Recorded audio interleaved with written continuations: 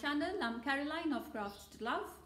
My videos are about upcycling, recycling and reloving old pieces of furniture and uh, outdated home decor which would either have been thrown away in the junk or stored in a garage but I try to repaint them and use my creativity to give them a new look. What some may see as junk, I see it as my next project. So the other day I went and browsed around a second-hand shop around the area and I picked up these two little cane chairs. Today's project will be the transformation of one of these chairs. So let's go and start today's transformation. This is the small cane chair I will be working on. That's Inspector Paddy watching what I will be doing next. When the chair was moved around to focus on the camera, he got a little bit startled. The first step to start on a project is to clean the surface. Here I'm using the Frenchy sugar soap.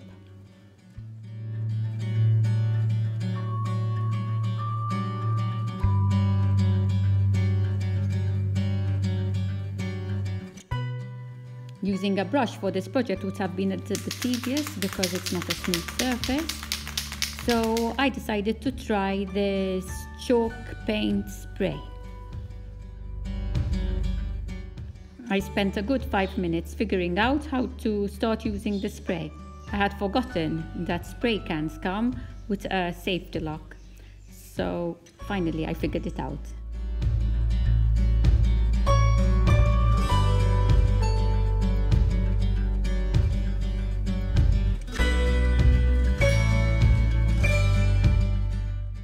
I started spraying um, a light coat over all the surface.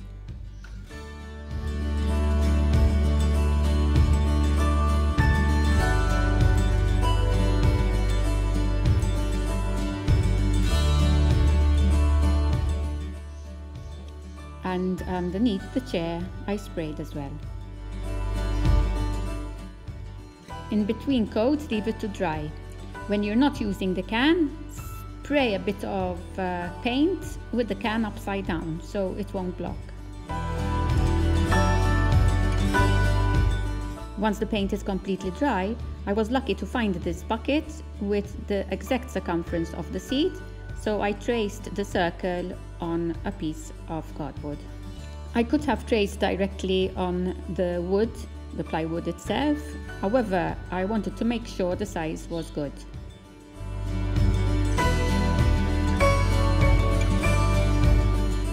Then I got a piece of plywood and I traced the circle around the plywood.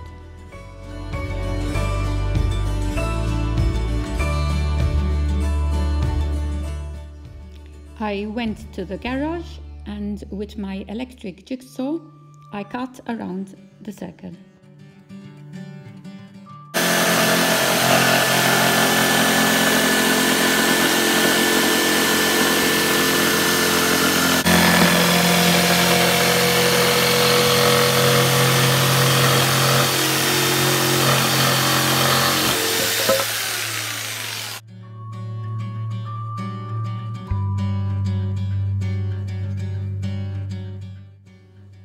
It's not a perfect cut, but for my first try cutting a circle, I think it was pretty good.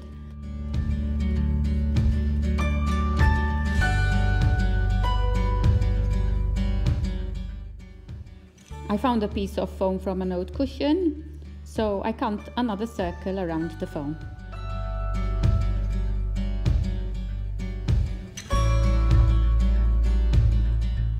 I put some glue to secure the foam onto the wood and I trimmed off the extra bits. Here I found some old sackcloth material, tracing around it but a few centimeters out because it needs to be turned inwards. You need to have it larger than the seat. I looked through my stash of stencils for some inspiration and finally then I decide on what I want to do.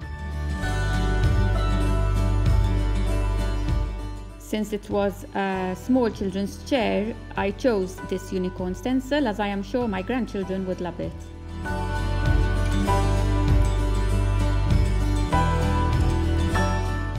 With some black acrylic paint and the stencil brush, I filled up all the areas of the stencil.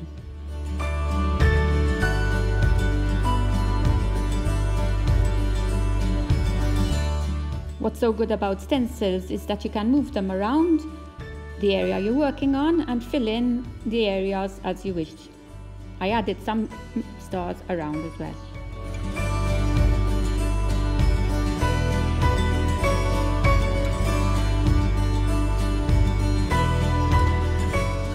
I immediately clean the stencil with some wipes so the acrylic paint won't stick. The last step would be to attach the fabric to the plywood and foam. So here I'm using small nails and um, working from one side to the other so I can pull and stretch.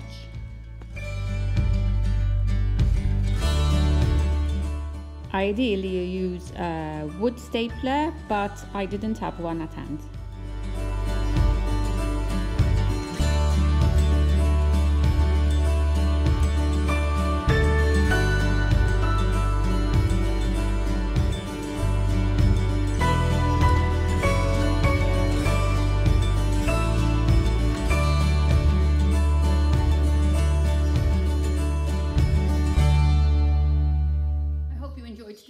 Simple and easy transformation.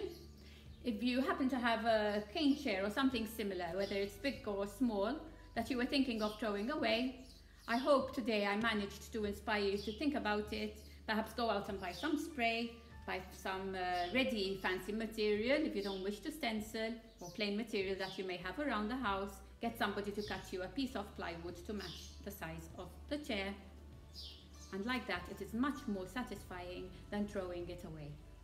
If you liked today's video, please do give me a thumbs up and if you wish to see more of my creative videos, please do subscribe to my channel, press the notification bell so you will be notified every time I upload a video. I would also appreciate if you could uh, share this video with your friends. Thank you once again for watching and I hope to see you all again next time. Till then, stay safe. Bye bye.